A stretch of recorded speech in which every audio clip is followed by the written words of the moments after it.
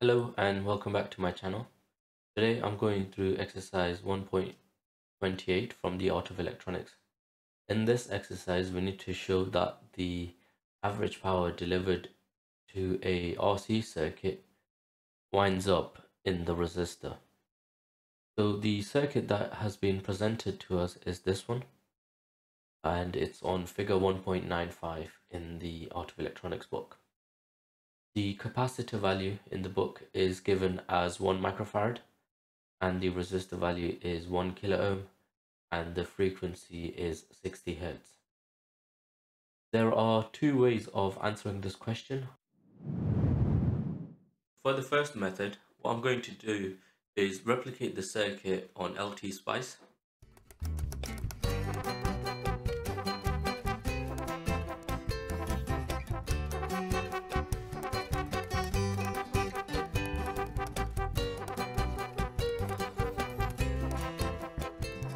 For this circuit, obviously, we have a capacitor of 1 microfarad from the question and a resistor of 1 kilo ohm. The frequency of the input is 60 hertz and the amplitude um, is not too important, um, but I'm going to set it as 150 um, peak. So let's now simulate this. And you can see I've basically got three waveforms on this graph. Now let's look at the power consumption across the capacitor and then the eh, resistor. So the current through the capacitor um, on LT Spice will be labeled as IC1 and the voltage across the capacitor is going to be this voltage here.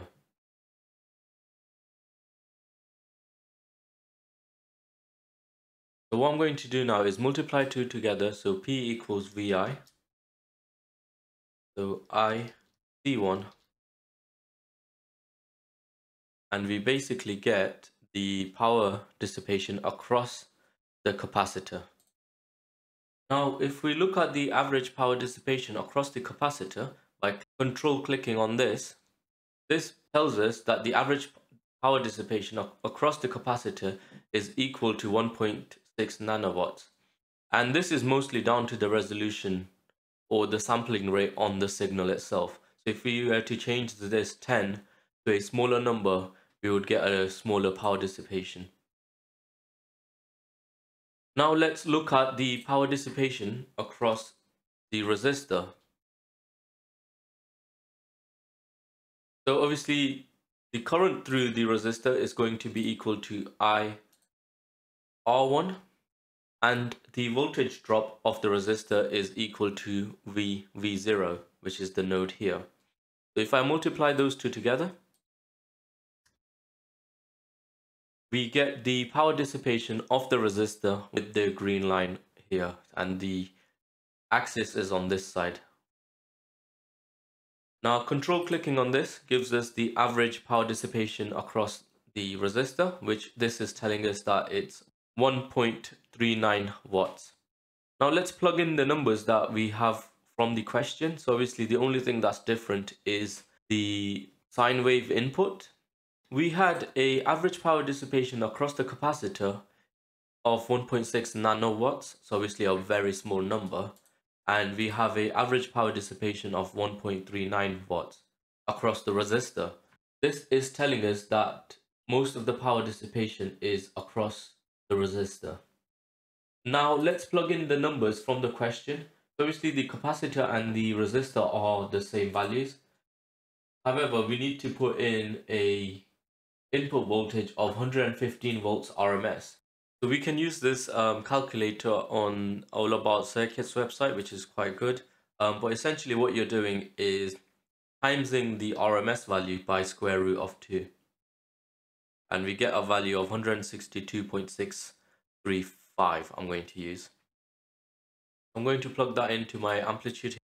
While that's simulating, the second part of the question is asking us to calculate the power dissipation in watts for a series circuit that we've got on the screen now with the voltage levels that I've applied.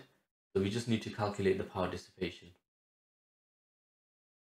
So previously we worked out that the power dissipation in the capacitor was very small and that's still the case. So we've got now minus 2 nanowatts on average. I will show you a result with a smaller step size because to show you that it is um, dependent on the step size and it's an error from the simulation. We have a power dissipation of 1.6457 across the resistor, which is the answer to part B of the question. So now let's look at the maths behind this question and how we can show using equations that all the real average power is dissipated in the resistor. So let's start by looking at the power dissipation in a RC circuit. So the circuit that we've been given is this one here. Obviously we've seen this before in the simulation and the question. The impedance Z of this circuit is equal to the resistance R plus the impedance of the capacitor as they are in series. The impedance of the capacitor is equal to minus J over omega C, where omega is the radial frequency, so that's 2 pi f.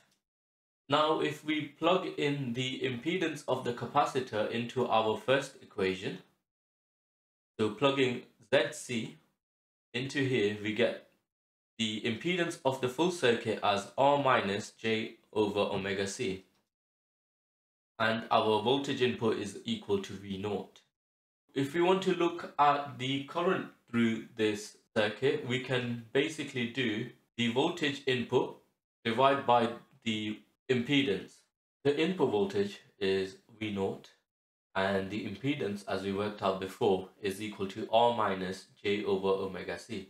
Now if we multiply the top and the bottom by the complex conjugate which is R plus J over omega C, we can write out the equation again in this form here. So we've got V naught multiplied by this equation here which is R plus J over omega C and then we multiply the bottom by the same.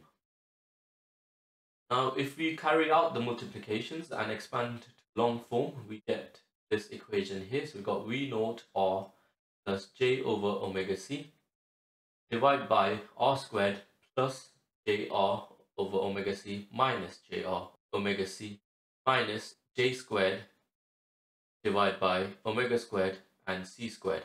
Obviously, these two cancel each other out and J squared is equal to minus 1 uh, so we get minus times minus 1, so that turns to a plus. So the whole equation becomes r squared plus 1 over omega squared plus c squared.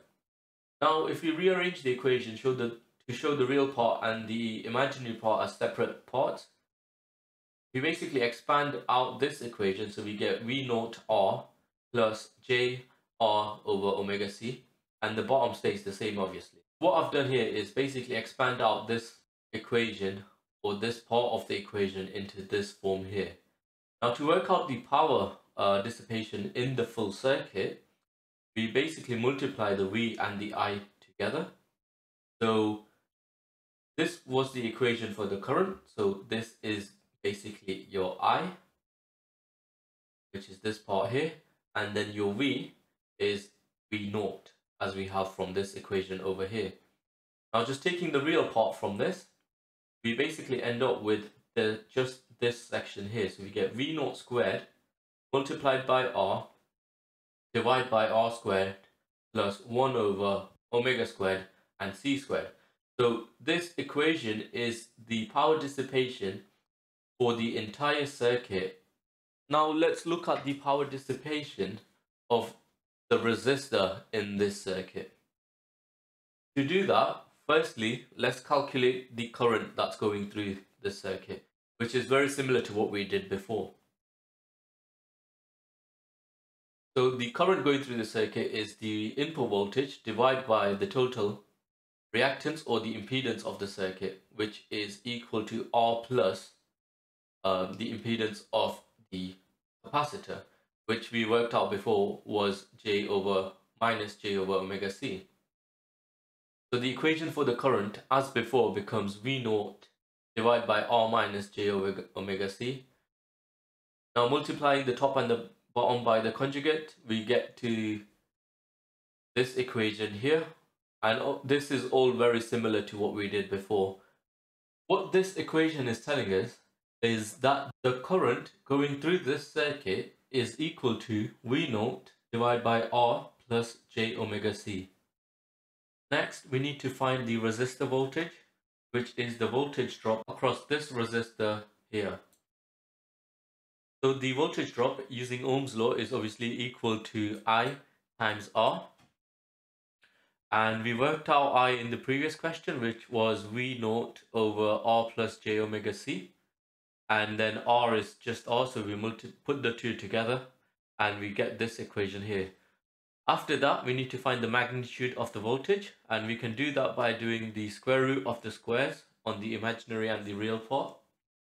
So we get the magnitude is equal to V naught times R divided by the square root of R squared plus uh, J squared divided by omega C squared. So J squared is obviously equal to uh, minus 1, but in the absolute value, we can ignore that.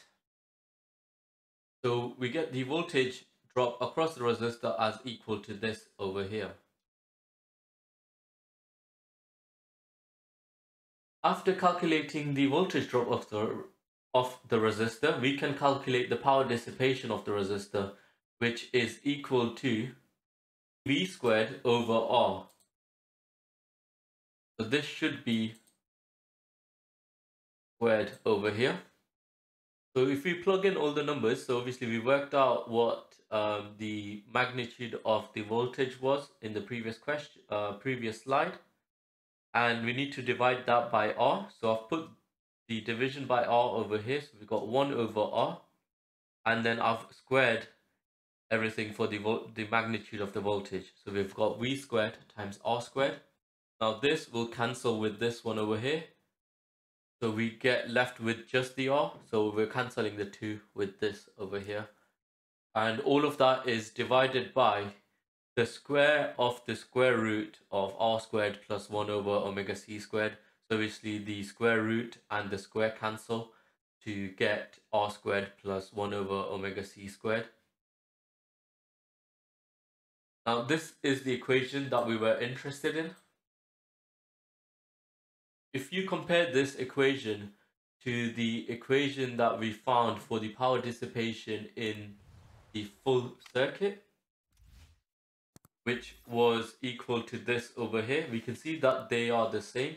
So what this is telling us is that the power dissipation of the resistor is equal to the power dissipation of the full circuit. So that means that all the power dissipated in this circuit is dissipated across the resistor.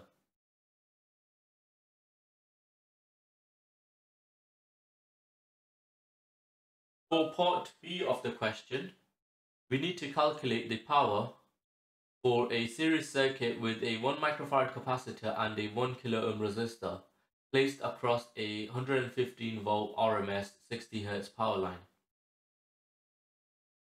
We are going to use the equation that we derived previously and plug in the numbers that we have. So 115 volts goes into your V, we square that, the resistance is equal to 1 kilo ohm, so uh, we've got one kilo ohm here and one kilo ohm squared over here. And then we replace the omega with 2 pi f, which is 60 hertz. Obviously this omega is frequency in radians. And we have a square of that multiplied by the square of this capacitor. This gives us an output of 1.646 watts, which if you remember from our simulation earlier, is exactly equal to what we found with the simulation. So that is all I need to cover for this question. Thank you for watching and obviously if you have any questions please let me know in the comment section below.